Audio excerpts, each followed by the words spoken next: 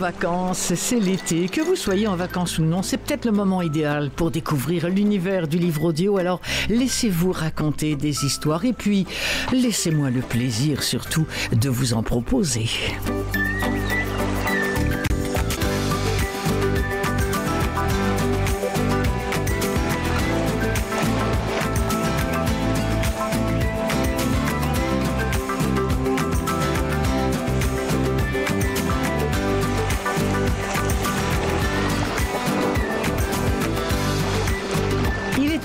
Une passionnée de livres audio. Moi, je.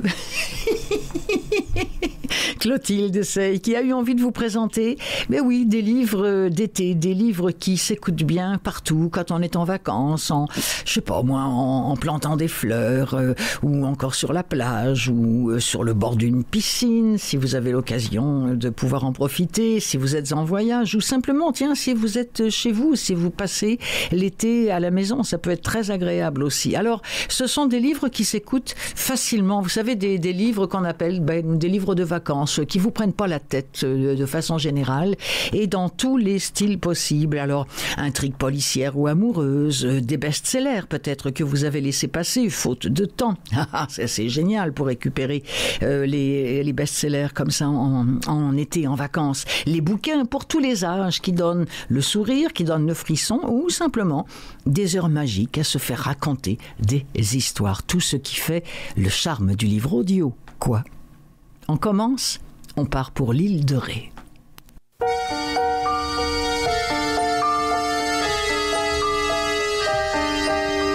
Dans l'île dorée, ma belle adorée, je t'emmènerai bientôt au mois le plus tendre, le mois de septembre, où l'on s'étendre bien seul, regardant la plaque des flots et les flaques que les soirées laques d'argent. Regardant les teintes allumées, éteintes d'une toile peinte un génie clair.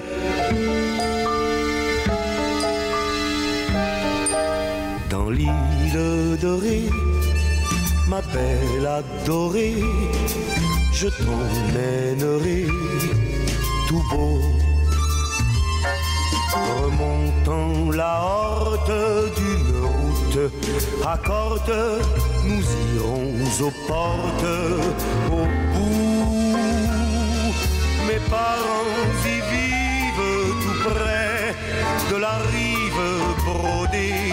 salive nacrée là la fleur marine parlait de narines grise la poitrine d'un encens sucré n'y a pas que Claude Nougaro qui va vous amener à l'île de Ré. Où est l'île de Ré? C'est en France. C'est une île qui est au large euh, de la Charente-Maritime, pour ceux qui connaissent, donc à l'ouest. Euh, c'est euh, c'est dans le golfe de la, de la Gascogne et c'était l'île aussi qu'adorait euh, Claude Nougaro qu'on vient d'entendre. Cette fois-ci, ben, je vais vous présenter Un soir d'été. C'est le titre du livre de Philippe Besson, lu par Julien de Saint-Jean. C'est un ouvrage autobiographique Peut-être que vous avez lu ou écouté Arrête avec tes mensonges euh, de cet auteur Philippe Besson.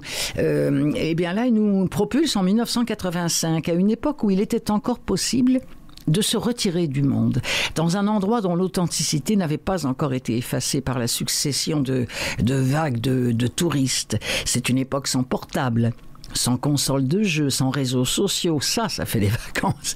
Et puis c'est une époque où il fallait se bouger le cul.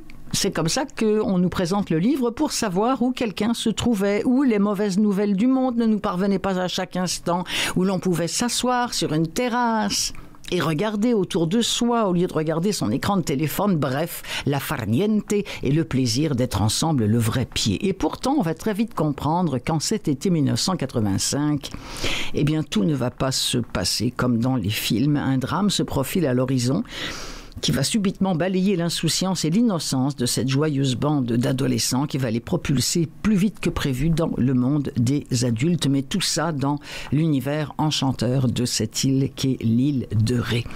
Alors je vous en propose un extrait. Nous ne sommes pas encore sur l'île dans l'extrait qu'on nous propose, mais on va mettre la table. Extrait de Un soir d'été de Philippe Besson.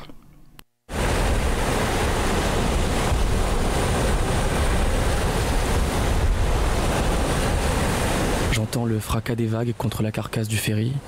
Je sens le roulis régulier. Je ne saurais dire si je suis triste ou joyeux. Probablement un peu des deux. Je pense à l'année scolaire qui vient de s'achever, celle de ma prépa. Je songe à ce qui m'attend. Partir à Rouen.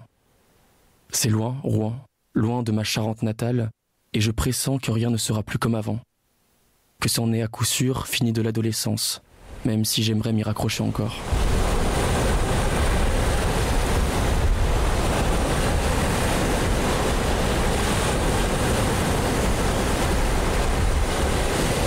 Que sont les soirées devenues, oisives et lentes de l'été, étirées jusqu'à la dernière lueur, jusqu'au vertige de l'amour même, de ses sanglots, de ses larmes? Marguerite Duras, l'été 80. Aujourd'hui. Ce matin, au détour d'une rue dans la ville où j'habite désormais, j'ai cru reconnaître son visage et sa démarche. C'était absurde, bien entendu. Tant d'années se sont écoulées depuis les événements, il aurait forcément beaucoup changé, et le croisé aurait exigé un improbable concours de circonstances. Pourtant, je n'ai pas pu m'empêcher de me lancer dans une étrange filature, de poursuivre cette silhouette simplement parce qu'elle m'a paru familière, d'emboîter le pas à un inconnu du seul fait de sa ressemblance avec l'homme qu'il pourrait être devenu. Je me suis retrouvé à me frayer un chemin sur des trottoirs encombrés, à me faufiler à travers la foule, à traverser la chaussée sous des coups de klaxon. Je ralentissais le pas dès qu'il s'immobilisait. Je maudissais les feux passant au vert au mauvais moment, puis je reprenais de plus belle. Finalement, n'y tenant plus, j'ai accéléré pour le dépasser et me retourner. J'avais besoin de vérifier, d'en avoir le cœur net. La vérité, si vous voulez que je vous dise, c'est que je ne suis jamais parvenu à me débarrasser de cette histoire. Elle ne m'a jamais quitté. Elle est là, quelque part, coincée dans les recoins de ma mémoire et ressurgit de temps à autre. D'ailleurs, ce n'était pas la première fois que j'étais soudain aimanté par une ombre, une forme, une apparition fugace. De la nostalgie? Peut-être. Le regret de notre jeunesse insouciante, alors. Une sorte de manque. Sans doute. Comme si cette absence était impossible à combler. De la culpabilité, celle de n'avoir rien vu venir dans ce cas. Vous savez, vous, pourquoi il faut que les belles histoires finissent mal?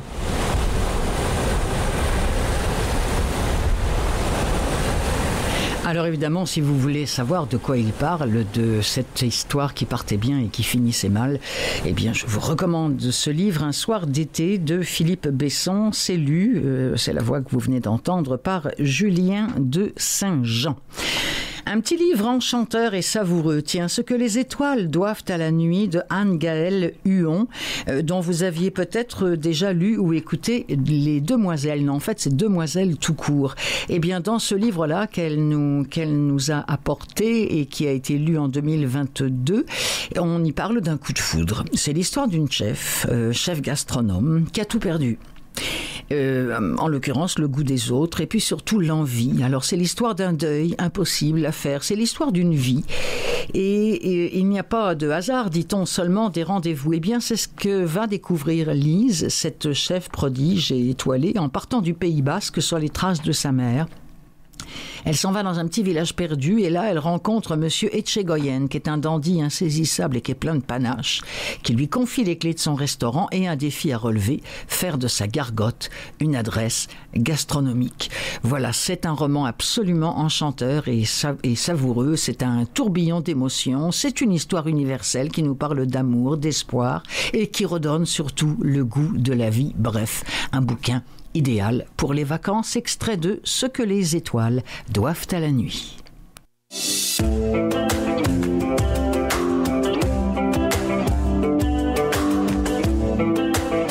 Il me fallait un sujet brûlant, un sujet que Sud-Ouest serait vraiment prêt à publier. Sur les soirées de la marquise, j'ai menti avec aplomb. Silence. Mon père qui me fixe. Je ne respirais plus me maudissant intérieurement pour les cinq mots que je venais de lâcher. La marquise Et pourquoi pas le pape tant que j'y étais Dans quoi je m'étais embarqué S'enliser dans une histoire pareille, il n'y avait pas idée. Personne n'avait jamais écrit d'article à ce sujet. Personne n'en écrirait jamais. Posée sur les hauteurs de Biarritz, la villa de la marquise surplombait l'océan. Confidentielle, intrigante, un palais plus qu'une villa en vérité. Ces fêtes étaient connues jusqu'à Paris. Autour planait le plus grand des mystères. On disait qu'elles étaient organisées par une femme plus belle que la nuit. Certains prétendaient qu'il fallait s'y présenter masqué. D'autres juraient y avoir vu des animaux sauvages en liberté. Les soirs d'été, les feux d'artifice se réverbéraient dans tout le golfe de Gascogne. Les grilles de la villa étaient infranchissables à moins d'être ministre, intellectuel, vedette, couturier, tsar ou artiste. Moi, je n'étais personne. Qu'est-ce qu'il m'avait pris d'inventer ça? Je me donnais une semaine pour écrire un papier, un article sulfureux, ébouriffant, inédit. De cette marquise, j'allais tout révéler. Ces soirées, comme le nom de ses invités, n'auraient bientôt plus de secret pour personne. Je n'avais pas le début d'une idée sur la façon de m'y prendre, mais pour impressionner mon père, j'étais prêt à tout. À tout, sauf à la rencontrer elle.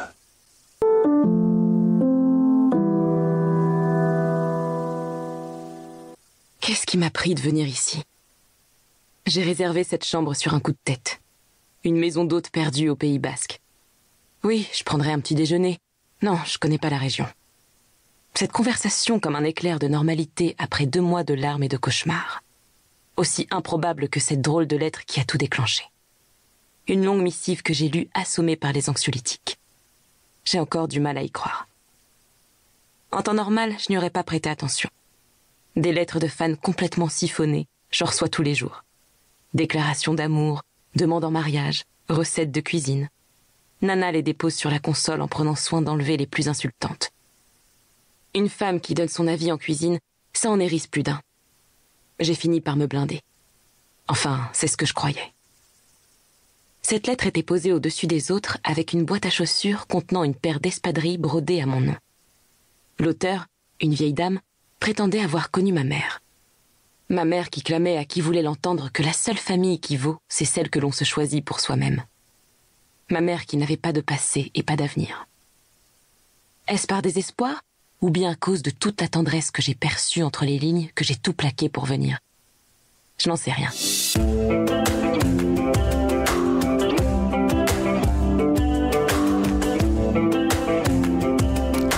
Voilà, un homme, une femme, hein, bah oui, c'est le, c'est le sujet éternel, mais ça nous fait toujours du bien de lire des belles histoires d'amour, de rencontres comme cela, et comme ce que nous propose Anne-Gaëlle Huon, et les voix de Florine Orphelin et Philippe Spiteri. Et ça s'appelle, je vous le rappelle, le livre Ce que les étoiles doivent à la nuit. Une petite parenthèse tout de suite, parce qu'on me demande encore comment faire pour se les procurer, ces livres-là. Vous savez que si vous faites simplement livre audio sur euh, Google, par exemple, avec le titre à côté. Bon, le premier qui va sortir, c'est Audible. C'est vrai que Audible, il y a, il y a, apparemment, tout ce que vous pouvez retrouver de, livres francophones et étrangers, c'est là que ça se passe. Cela étant dit, il y a aussi, et je vous en parle souvent, euh, des, des maisons d'édition comme Gallimard, Audiolib. Tous ces gens-là ont leur, euh, leur catalogue sur lequel vous pouvez vous rendre pour trouver un livre audio. Dès l'instant que vous avez le titre, même si vous faites livre audio avec le titre en question. Et ce que je vous recommande de faire, c'est que lorsque le titre est un titre québécois, comme le suivant dont on va dont je vais vous parler, eh bien, il faut aller à tout prix sur le seul euh, catalogue québécois qui est le catalogue NARA. N-A-2-R-A, vous faites nara.ca et là vous avez des centaines et des centaines de livres francophones, québécois ou non, mais qui se retrouvent là et notamment aussi des livres qui sont faits à l'étranger. Alors, quand un titre vous intéresse, prenez-le en note. Si vous retenez pas qui l'a produit, commencez par faire livre audio et le titre du livre. Point. C'est la seule chose que vous avez à retenir, plus Nara, na2ra.ca au Québec. Voilà. L'un de mes meilleurs souvenirs à l'émission des livres plein les oreilles, et j'ai déjà évoqué à quel point ce fut un bon souvenir, c'est Antonine Maillet quand elle était venue me rendre visite, deux fois plutôt qu'une d'ailleurs. Antonine Maillet qui a publié en 2021 le livre Mon Testament, où elle rend hommage à tous ces personnages. Elle dit Je suis devenue un écrivain connu avec la Sagouine. C'est elle qui m'a fait connaître. Et je suis tellement fière de ce livre, parce que c'est ça qui est l'œuvre unique dans un sens. Au fil de 60 ans d'écriture, Antonine Maillet a engendré une foule de personnages. Vous le savez, eh bien, elle souhaite aujourd'hui, dans cette espèce de savoureux dialogue qui est ce livre, dialogue avec eux donc, leur laisser la juste part d'héritage qui leur revient. Après tout, plusieurs sont devenus avec le temps des figures aussi célèbres qu'elle, un qui ne connaît pas la fameuse Sagouine dont la voix a été portée par Viola Légère, et puis Pélagie, Pélagie qui a ramené son peuple en Acadie après la déportation de 1755, et puis Jeanne de Valois, et puis, et puis, et puis tant d'autres. Alors voici un extrait de Mon Testament, et d'un dialogue entre Antonine Maillet et son personnage de Pélagie.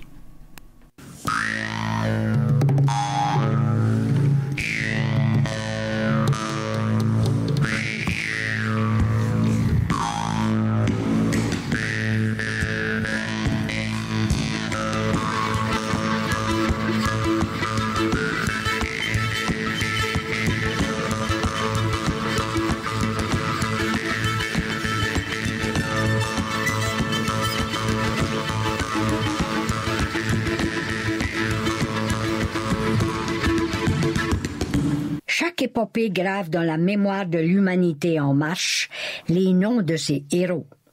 Par définition, un récit épique raconte l'instant qui précède la naissance d'un peuple.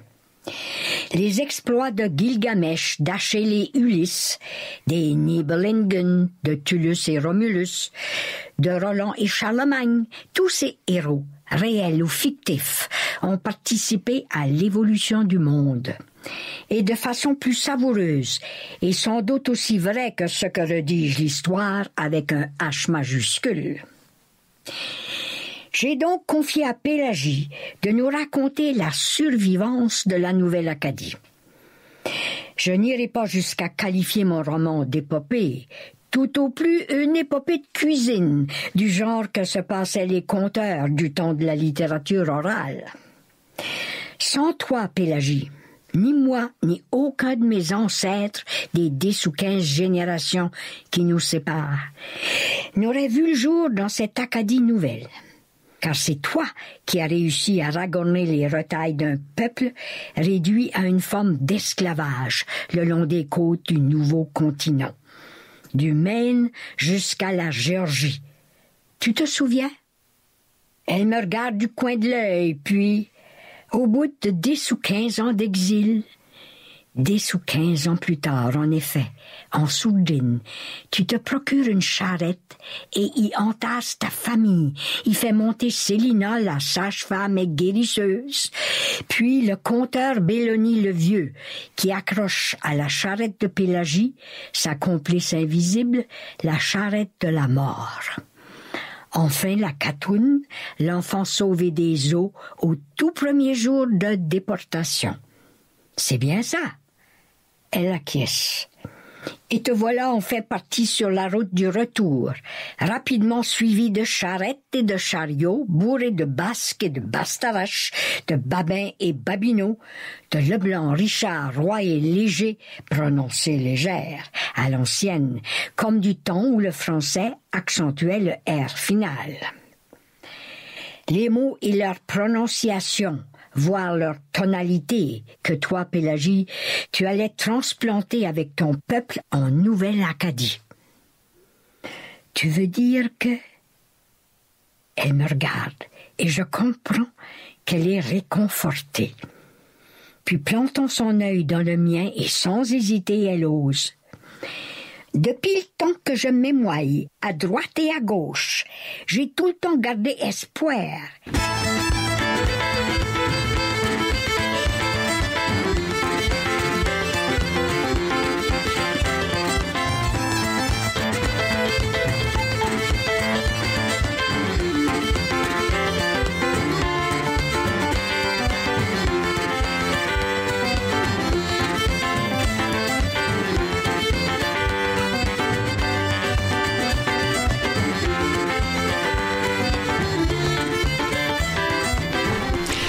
Relisez, mais relisez, ou même mieux encore, écoutez Pélagie, Pélagie la charrette. Euh, parce que je, bah, je dis ça, est-ce que Pélagie a été enregistrée Oh, ça je suis pas sûr. Il faut donc aller faire une petite recherche, mais je pense que non. Par contre, Mon Testament, dont on vient d'entendre un extrait de et par Antonine Maillet, ça je peux vous le dire. Bon, ça a été édité sur papier par Leméac, euh, éditeur, mais euh, ça a été enregistré ici au Québec et ça se trouve notamment sur le catalogue Nara. Une, une, rubrique qui va revenir régulièrement pendant ces, ces, émissions des livres plein les oreilles en vacances, c'est le feel good. Alors, le feel good, c'est un nouveau mot. les Français adorent tellement ça, le feel good, qu'ils ont créé un mot qu'ils ont écrit le feel good, F-I-L-G-O-U-D-E, ne riez pas. Mais c'est rier, c'est tellement drôle, c'est tellement ridicule. Bref, toujours est-il que le feel good, ben vous savez ce que c'est. Hein? C'est le livre sympa, en plein, en plein fait pour le soleil, pour la détente, pour pas se prendre la tête. Et moi, je vous propose, de, sous la rubrique le feel good, la vie rêvée des chaussettes orphelines de Marie Vareille, lue par Lou Broclin. Alors, nous sommes avec Alice. En apparence, tout va très très bien pour Alice, bon, ou presque.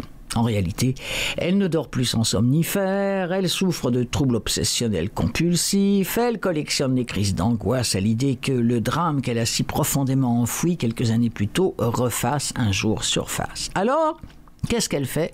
Elle a décidé de changer de quai. Bon, elle a toujours les mêmes valises, mais elle décide de quitter l'Amérique pour aller vivre à Paris. Et fraîchement débarquée dans la capitale française, elle n'a qu'un seul objectif, c'est repartir à zéro et se reconstruire. Alors elle accepte de travailler dans une start-up dirigée par un jeune PDG, un gars complètement fantasque, dont le projet se révèle pour le moins étonnant. Il veut réunir les chaussettes dépareillées de par le monde. Alors la jeune femme ne s'en doute pas encore, mais les rencontres qu'elle va faire dans cette ville inconnue vont bouleverser sa vie. Et puis surtout, eh bien, Paris, ça pas la France, mais euh, les Françaises, les Parisiennes, c'est quelque chose.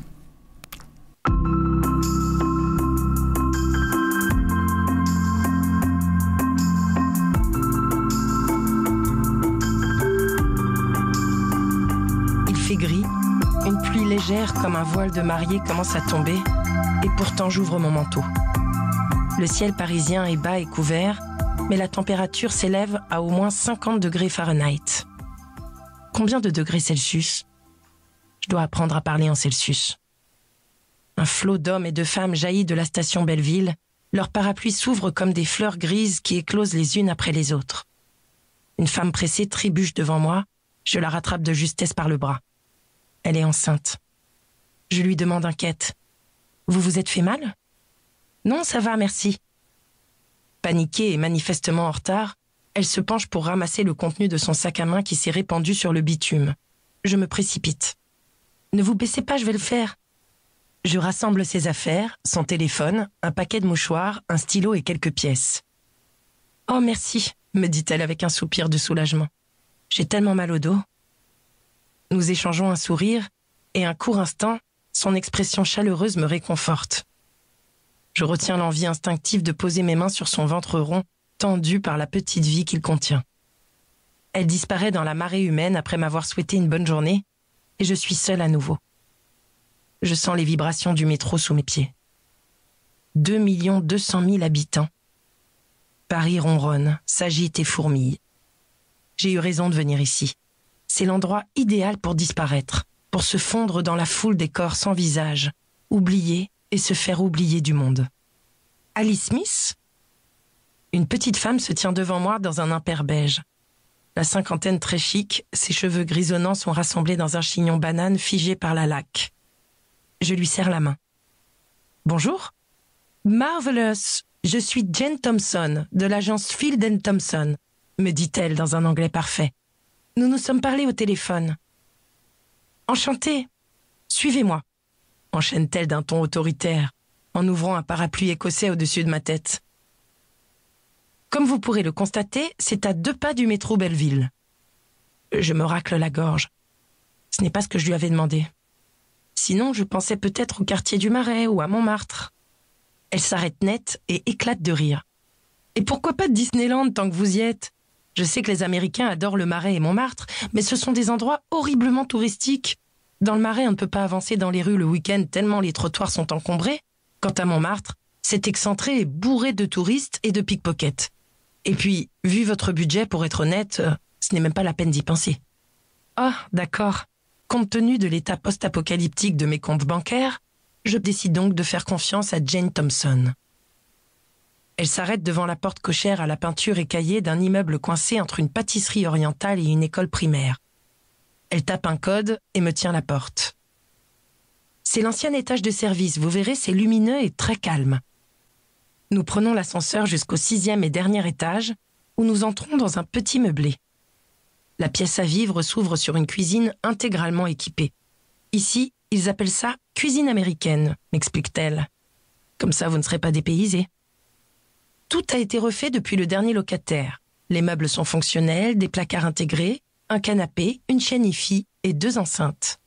La salle de bain réussit l'exploit de contenir une baignoire dans ses trois mètres carrés. L'endroit est petit, impersonnel, blanc et propre.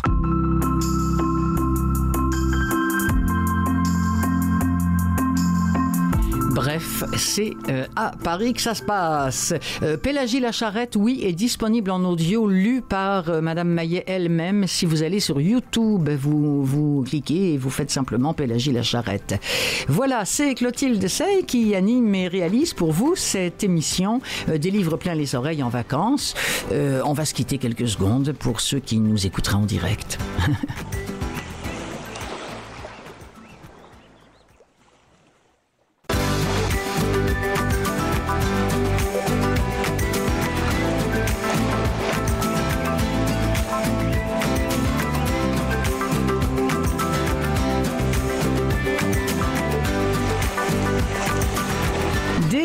plein les oreilles en vacances, programmation d'été, histoire de se faire raconter toutes sortes d'histoires euh, différentes. Oh mon Dieu, histoire 2, histoire 2, bah oui, remarquez, on est dans le livre audio, alors pourquoi pas répéter le mot histoire deux fois dans la même phrase? Nous aurons un incontournable, l'été c'est le temps de rattraper son retard, nous aurons un polar, un livre pour ados, un livre pour les jeunes. Et pour finir, bah, un bon, un très bon livre à lire en été, bah, parce que c'est bon.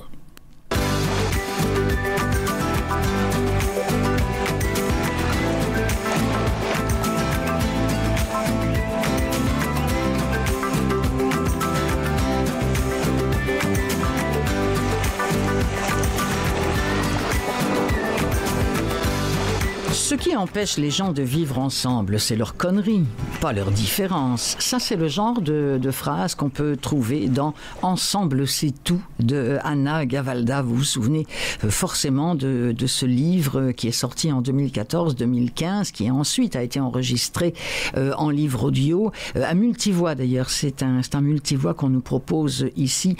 Un, un livre qui a fait un succès absolument phénoménal et pour cause, c'était un vrai régal que d'aller à la rencontre de ces personnages tellement différents les uns les autres, comme cette Camille qui, qui dessine, enfin qui, qui dessinait, parce que maintenant elle fait plutôt des ménages la nuit, Philibert, qui est un espèce d'aristo, un pur jus, euh, qui héberge Franck, un cuisinier de son état, dont l'existence ne tourne qu'autour des filles de la moto, et puis Paulette, Paulette, sa grand-mère, Paulette qui vit seule, qui tombe beaucoup, qui cache ses bleus, qui est paniquée à l'idée de mourir loin de son jardin. Alors ces quatre-là n'auraient jamais dû se rencontrer. Ils sont trop, trop perdus, ils sont trop seuls, ils sont trop cabotés, cabossés. Et pourtant, eh bien voilà, le destin ou la vie, euh, appelez ça comme vous voulez, va faire en sorte qu'ils vont se rencontrer au hasard. Euh, une lectrice euh, sur euh, Babelio a écrit ceci, et j'ai trouvé ça superbe, en parlant de Ensemble c'est tout. C'est un livre que je ne suis pas prête d'oublier, et pourtant j'en lis des bouquins. Mais là, les 604 pages, je les ai lus en deux jours, et j'aurais voulu que ça ne se termine pas. Il m'a tout fait, je passais du rire aux larmes à tout moment, et ce n'est pas une façon de parler. J'ai vraiment ri tout fort et j'ai pleuré vraiment et souvent. Extrait de Ensemble c'est tout d'Anna Gavalda avec les voix de, entre autres, Julie Gaillet et Gisèle Casatsu.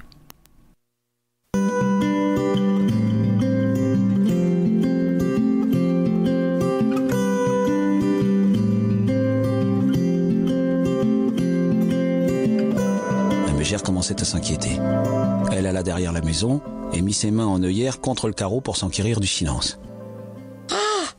D'où Jésus s'exclama-t-elle, en apercevant le corps de son ami étendu sur le carrelage de la cuisine. Sous le coup de l'émotion, la bonne femme se signa n'importe comment, confondit le Fils avec le Saint-Esprit, jura aussi un peu et alla chercher un outil dans la remise. C'est avec une binette qu'elle brisa la vitre et au prix d'un effort magnifique qu'elle se hissa jusque sur le rebord de la fenêtre. Elle eut du mal à traverser la pièce, s'agenouilla et souleva le visage de la vieille dame qui baignait dans une flaque rose où le lait et le sang s'étaient déjà mélangés. Oh Paulette Vous êtes morte Vous êtes morte là Le chat l'appelle le sol en ronronnant, se moquant bien du drame, des convenances et des éclats de verre tout autour.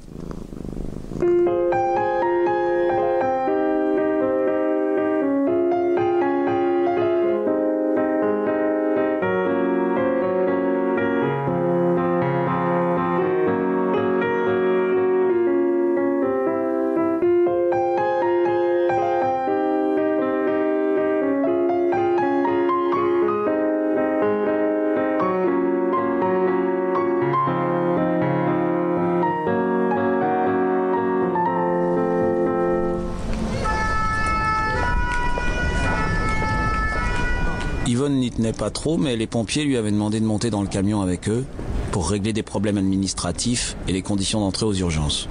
Vous la connaissez, cette dame? Elle s'était offusquée. Bah, Je crois bien que je la connais, on était à la communale ensemble. Alors montez. Et ma voiture? Elle va pas s'envoler, votre voiture, on vous la ramènera tout à l'heure. Bon, j'irai en course tantôt. Elle avait pris sur son genou la main de son ami et la lissait comme si c'était le bas de sa jupe, mécaniquement. Le chagrin et l'effroi l'empêchaient d'être plus tendre. Yvonne Carmino soupirait, regardait ses rides, ses cales, ses taches sombres par endroits, ses ongles fins encore, mais durs, mais sales et fendus. Elle avait posé la sienne à côté et les comparait. Certes, elle était plus jeune pour sa part, et plus dodue aussi, mais surtout elle avait eu moins de peine ici-bas. Elle avait travaillé moins dur et reçu davantage de caresses. Elle, il y avait bien longtemps qu'elle ne s'échinait plus au jardin. Son mari continuait les patates, mais pour le reste, c'était beaucoup mieux à l'inter. Les légumes étaient propres, et elle n'était plus obligée de dépioter le cœur des laitues à cause des limaces. Et puis elle avait son monde, son Gilbert, sa Nathalie, et les petites à cajoler. Alors que la Paulette, qu'est-ce qui lui restait à elle? Rien. Rien de bon. Un mari mort, une traînée de filles et un gamin qui venait jamais la voir. Que des soucis, que des souvenirs, comme un chapelet de petite misère. Yvonne Carmino était songeuse. Alors c'était ça, une vie Ça pesait si léger. C'était si ingrat. La Paulette pourtant, quelle belle femme c'était. Et comme elle était bonne, comme elle rayonnait autrefois. Et alors, où est-ce que c'était donc parti tout ça? À ce moment-là, les lèvres de la vieille dame se mirent à bouger. En un instant, Yvonne chassa tout ce bazar de philosophie qui l'encombrait. Paulette, c'est Yvonne. Tout va bien, ma Paulette. J'étais venue pour les commissions et... Euh, Je suis morte. Ça y est. Je suis morte. Bien sûr que non, ma Paulette, bien sûr que non. Vous n'êtes pas morte, voyons. Ah, fit l'autre en refermant les yeux. ah, Ce A était affreux. Petite syllabe déçue, découragée et déjà résignée. Ah, je ne suis pas morte. Ah bon. Ah, tant pis. Ah, excusez-moi. Yvonne n'était pas de cet avis. Allons, il faut vivre, ma Paulette. Il faut vivre tout de même. La vieille dame secoua la tête de droite à gauche, à peine et tout doucement. Minuscule regret triste et têtu. Minuscule révolte. La première, peut-être. Puis ce fut le silence. Yvonne ne savait plus quoi dire. Elle se moucha et reprit la main de son ami avec plus de délicatesse. ils vont me mettre dans une maison, n'est-ce pas? Yvonne sursauta. Mais non, ils vont pas vous mettre dans une maison, mais non. Et pourquoi que vous dites ça? Ils vont vous soigner, et puis voilà. Et dans quelques jours, vous serez chez vous. Non. Non, je sais bien que non. Non, ça par exemple, mais voilà autre chose. Et pourquoi donc, mon petit bonhomme?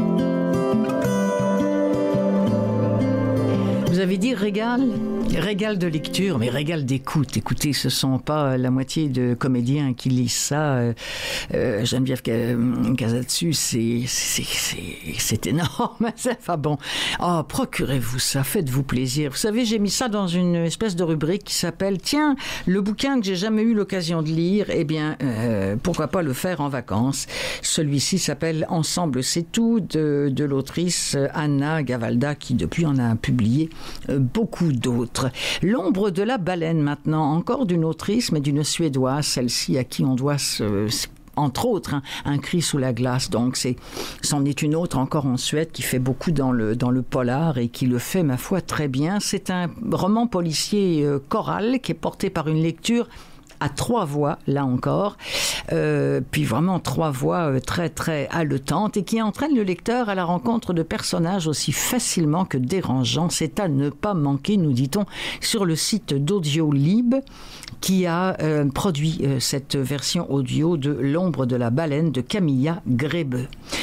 Alors la nouvelle star, hein, je vous le disais, du polar suédois, nous plonge cette fois-ci dans les eaux sombres de la Baltique. Nous sommes dans l'archipel de Stockholm, où là on vit des heures inquiétantes, alors que des cadavres de jeunes hommes, de jeunes hommes échouent sur les côtes.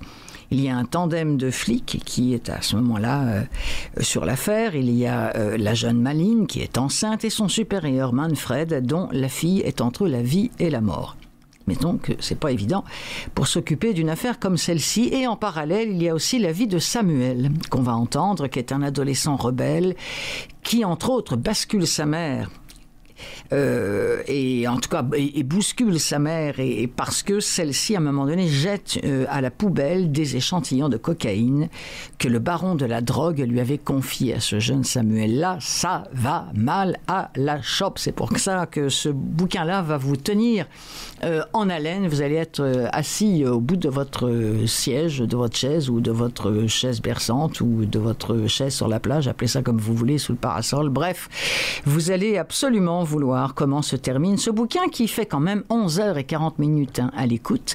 Alors voici un extrait de L'ombre de la baleine de Camilla Grebe, lu par Marie-Ève Dufresne, Pierre-Henri Prunel et Hugues Martel qu'on va entendre.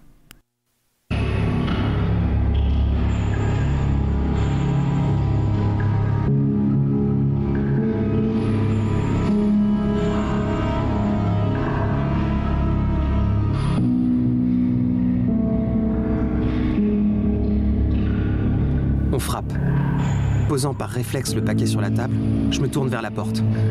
Ma mère entre, le visage empreint d'une grande fatigue. Ses longs cheveux bruns striés de larges mèches grises et ternes tombent sur ses épaules. Sa chemise en jean moule sa poitrine et dans son décolleté brille sa croix en or.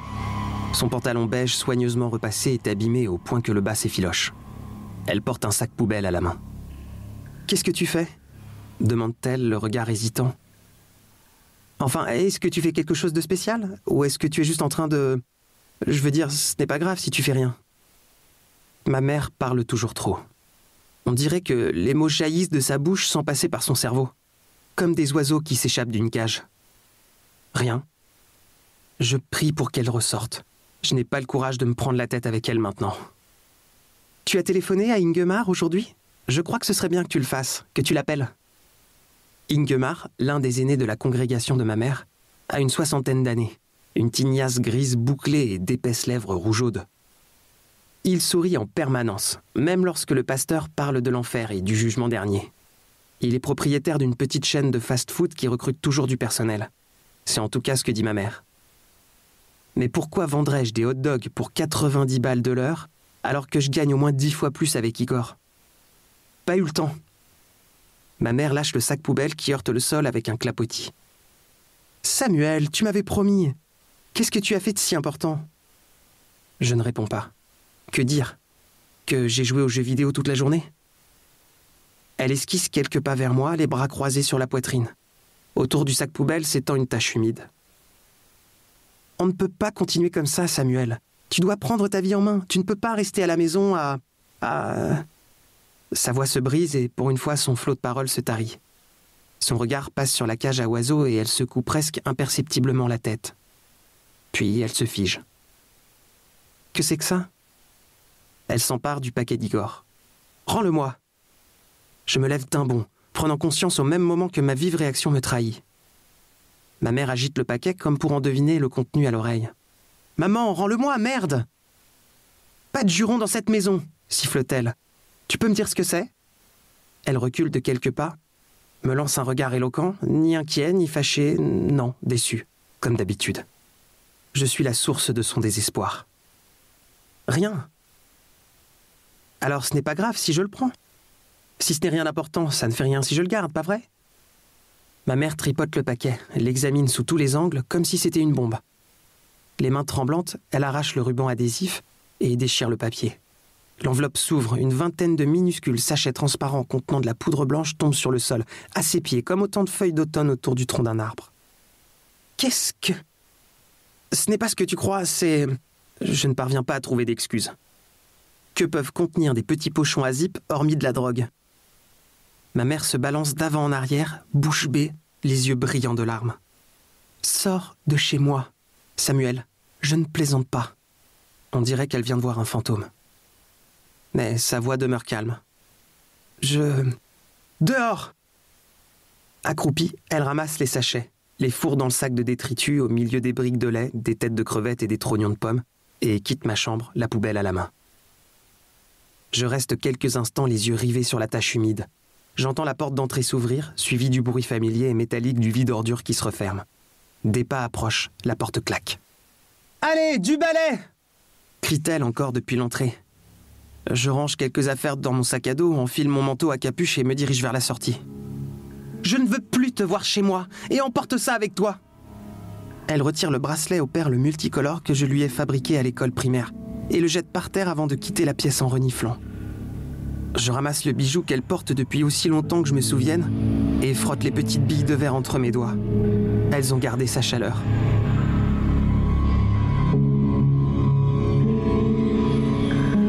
Ce sera pour cette semaine le polar qui nous vient de Suède, L'ombre de la baleine de Camilla Grébeux, narrateur Marie-Ève Dufresne, Pierre-Henri Prunel et Hugues Martel. Pour les vieux ados, et les jeunes adultes, tiens, avez-vous déjà lu Le Lion de Joseph Kessel? Si oui, formidable, vous allez vous en souvenir. Sinon, eh bien, vous ne pourrez pas passer à côté après tout ce que je vais vous en dire. Parce que moi aussi, hein, quand je l'avais lu, j'ai complètement vibré. C'est un chef-d'œuvre signé Joseph Kessel qui raconte l'extraordinaire fusion entre une gamine et un lion, recueilli alors qu'il était bébé et livré à la vie sauvage quelques mois après. Cette fusion, le narrateur va y assister avec fascination, mais avec effroi aussi. Ça, je ne peux pas tout vous raconter pourquoi, mais vous allez comprendre. Euh, Kessel est un, est un type euh, à la fois écrivain, mais aussi un très très grand voyageur, qui a été fasciné toute sa vie par les bêtes, qui a désiré de toutes ses forces être admis dans dans l'innocence et la fraîcheur des premiers temps du monde. C'est comme ça qu'il qu'il euh, qu'il disait quelle était sa mission sur cette terre. Il ne peut qu'aspirer à entrer dans la danse de force et de douceur. Euh, il aimait approcher du, du, mufle doux, par exemple en Afrique, ou des yeux d'or de, King, le bien-aimé, le bien nommé, le lion.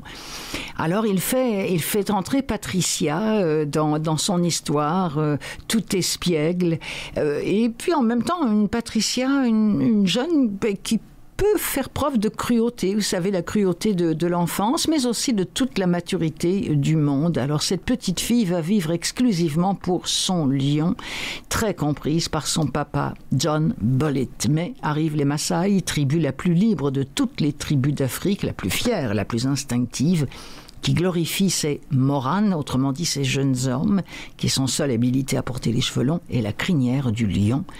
Et alors, eh bien, le destin est en marche. Extrait de Le Lion de Joseph Kessel, lu par Hippolyte Girardot. Cette merveilleuse créature sortie du brouillard ne s'arrêta que devant mes chevilles et leva son museau vers moi. Et je me baissai, avec toute la précaution possible, et tendis la main vers la tête la plus finement ciselée, la plus exquise de la terre. La petite gazelle ne remuait pas. Je touchais ses naseaux, les caressais. Elle me laissait faire, ses yeux fixés sur les miens. Et dans leur tendresse ineffable, je découvris le même sentiment que dans le regard si mélancolique et sage du petit singe. Cette fois encore, je fus incapable de comprendre. Comme pour s'excuser de ne pouvoir parler, la gazelle me lécha les doigts. Puis, elle dégagea son museau tout doucement. Ses sabots firent de nouveau sur les planches du perron le bruit de dés qui roulent. Elle disparut. J'étais seul, à nouveau.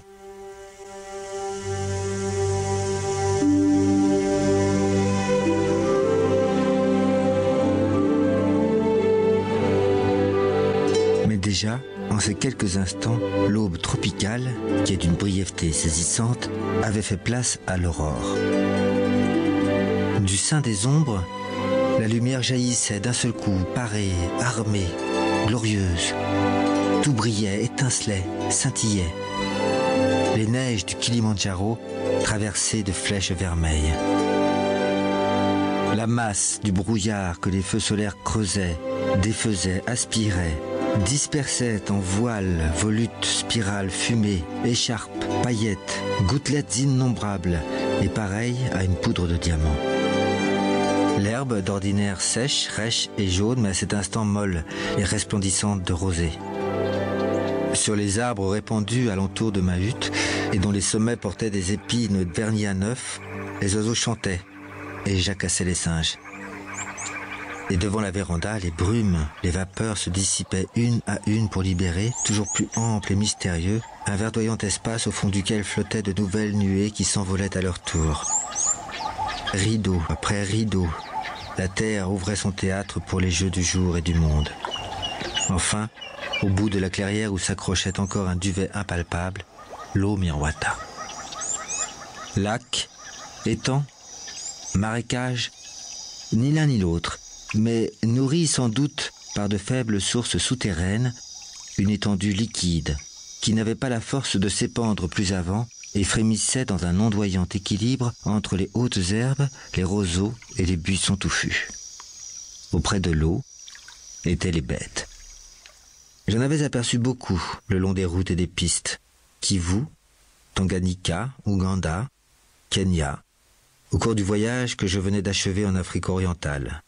Mais ce n'étaient que visions incertaines et fugitives.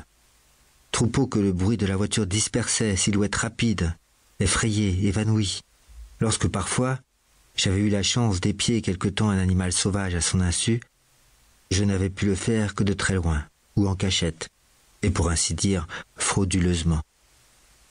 Les attitudes que prenaient dans la sécheresse de la brousse les vies libres et pures, je les contemplais avec un singulier sentiment d'avidité, d'exaltation, d'envie et de désespoir. Il me semblait que j'avais retrouvé un paradis rêvé, ou connu par moi en des âges dont j'avais perdu la mémoire, et j'en touchais le seuil et ne pouvais le franchir. De rencontre en rencontre, de désir en désir frustré, le besoin était venu, sans doute puéril, mais toujours plus exigeant, de me voir admis dans l'innocence et la fraîcheur des premiers temps du monde. Et avant de regagner l'Europe, j'avais résolu de passer par un des parcs royaux du Kenya. Ces réserves où des lois d'une rigueur extrême protègent les bêtes sauvages dans toutes les formes de leur vie. Maintenant, elles étaient là. Non plus en éveil, en méfiance, et rassemblées sous l'influence de la crainte par troupes, hardes, files et bandes, selon la race, la tribu, la famille, mais confondues et mêlées au sein d'une sécurité ineffable dans la trêve de l'eau, en paix avec la brousse elle-même et l'aurore. C'est magnifique. Hein c'est Le Lion de Joseph Kessel et c'est lu par Hippolyte Girardot. Là, Girardot, encore une fois, hein, si vous retenez juste Le Lion, livre audio, vous allez tomber là-dessus très facilement. Pour finir l'émission, Heureux les heureux de Yasmina Reza. Euh, écoutez, c'est une histoire qui glisse de, la mélancolie à l'humour. Il n'y a pas que des moments faciles pour un livre de vacances, mais quand même, c'est un. En, fait, il y a un, une lectrice qui en dit ceci sur Babelio et pour moi qui n'ai pas lu ce livre, eh bien ça me donne fichtrement envie de le faire. Elle écrit cette femme, ce qui jaillit de ce roman, c'est l'homme, mais l'homme avec un grand H, hein. euh, en plein 21e siècle, même pourvu de smartphones, même et surtout en famille, même avec des amants, des maîtresses. L'homme est inexorablement seul face à une vie finalement pas si belle et mesquine qu'il devra supporter jusqu'à la mort. Ce n'est pas bien gai malgré la pointe d'humour, écrit cette femme permanente qui se faufile dans de petits sketchs. Je parle de sketch, j'aurais pu dire nouvelle aussi, car ce livre met en scène une bonne dizaine de personnages qui ne sont reliés entre eux que par des liens infimes. Chacun parle à tour de rôle, parfois deux fois, et raconte un événement particulier où d'autres protagonistes peuvent s'y trouver pas. Par exemple, dans l'extrait qu'on va entendre, nous sommes dans un supermarché. Ça va peut-être évoquer quelque chose pour vous.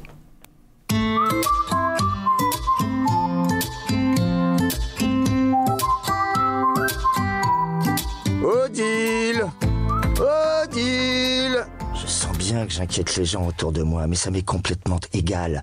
Je sillonne les travées avec le caddie. Je déteste ces supermarchés. Et soudain, je la vois dans la queue des fromages. Une queue encore plus longue que celle de tout à l'heure. Elle s'est remise dans la queue des fromages.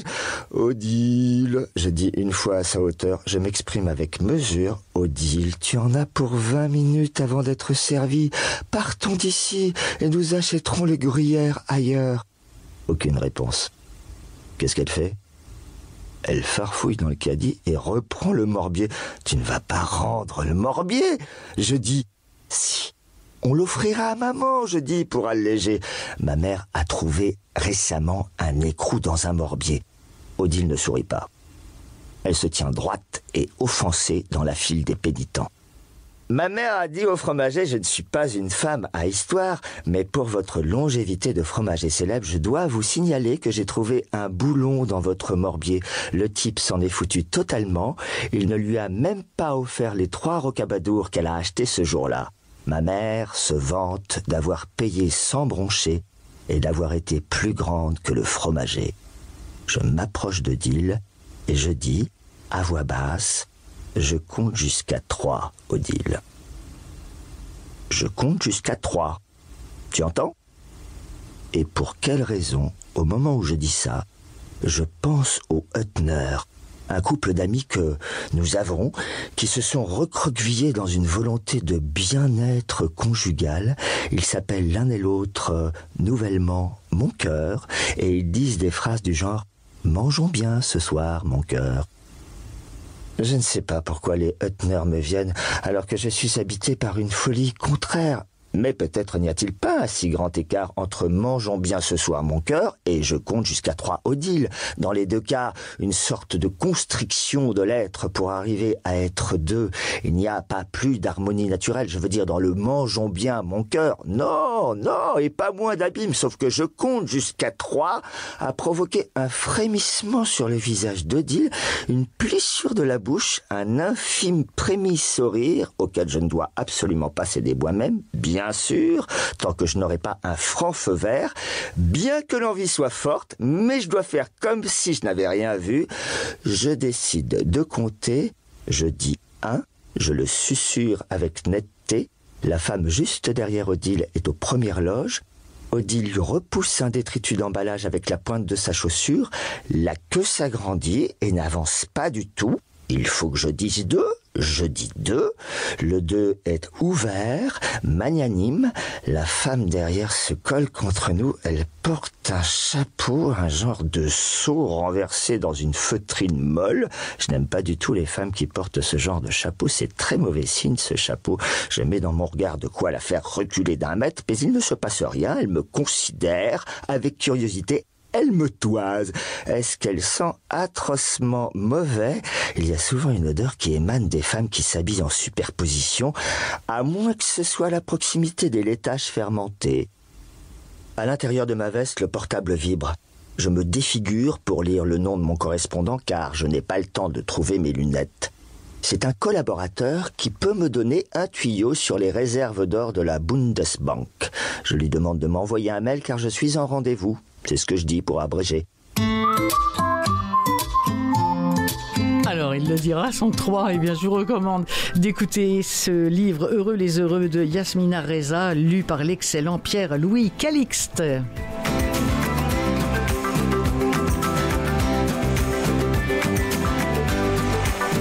Des livres plein les oreilles en vacances, mais quand même pour mieux vous servir et vous proposer bien des livres qui se lisent bien par les oreilles lorsque peut-être on est en arrêt ou encore qu'on est encore